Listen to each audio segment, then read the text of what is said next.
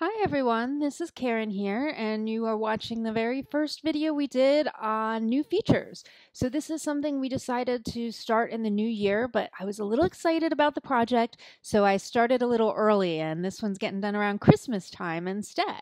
So in this, I'm going to tell you about a new feature and show you a little bit about how it works. So today's feature is the event sessions feature. So first I'm going to show you on the front end, so you can see how it's going to look to your members and website visitors, and then I'm going to show you how the magic is made on the back end. So let's start by taking a look at our annual membership conference here. So when we go here, you can see all the basic things you normally see with our events. And when you register now, you notice that, of course, the member you have to sign in to get that ticket. Um, I'm going to start off by saying one guest ticket. So you have your normal where you can ask the questions, and I'll fill that in. That's always been part of our system or has been for quite a long time at this point. Um, so membership works. And let's put an email in there. Okay, now this next part below, that's the new feature that I'm really excited to tell you about. This is where if you're having a big conference, you can find out which sessions your attendees want to attend. You can also limit the number of each session you sell so you can make sure that um, there's enough room in each room for the sessions. So we're going to start out with this morning session choice, and you can give the people a variety of choices however you want. You can also give them the chance to select that they're not attending a session. So here here, I'm going to say, I want to know how to roll out a new system. And then the afternoon session choice, maybe I want to know uh, deals that people actually use.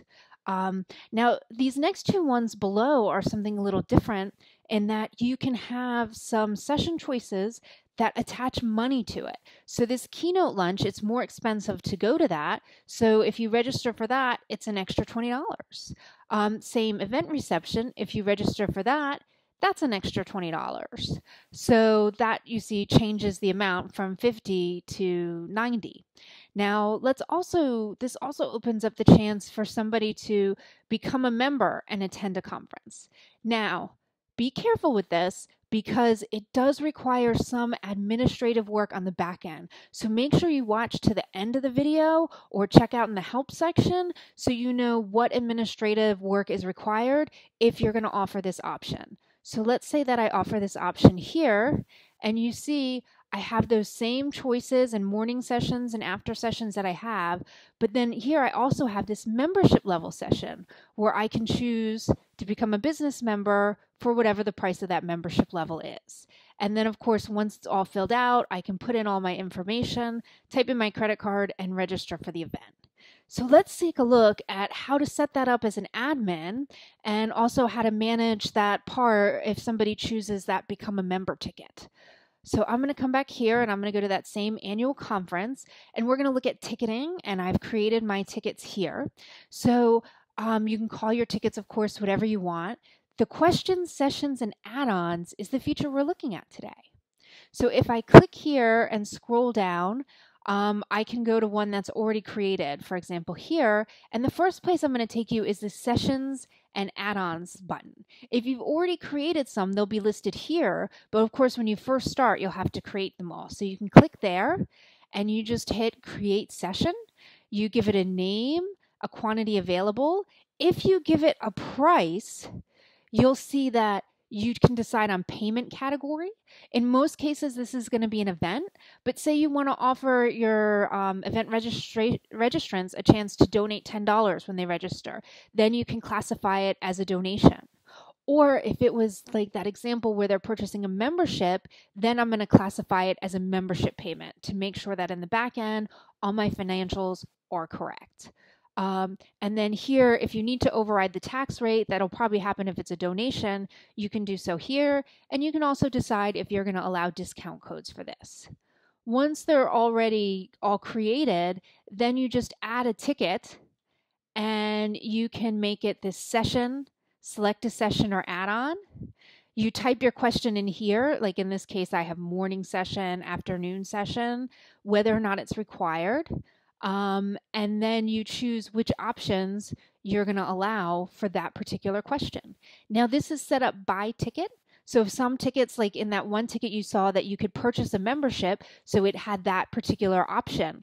But in other ones, and that's that business and personal member we see here, in other ones, they didn't come with a membership, so it didn't have a question asking that. So that's um, how that's done. It's fairly easy to create. Now, managing that membership portion, let's talk about that a little bit.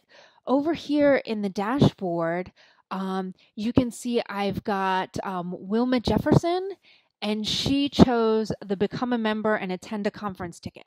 So remember that when they have a head, it lets you know they have an account in the system, and that plus tells you they don't. So if we want to make her a member, we're just going to click on that plus. We're going to choose the folder for her. We want to put her in the members folder and hit create. Now she's got the head. We can pull her up and over in membership billing, we can put her on that business member. We'll leave her at manual billing and we'll uh, we can send her that new member welcome email here.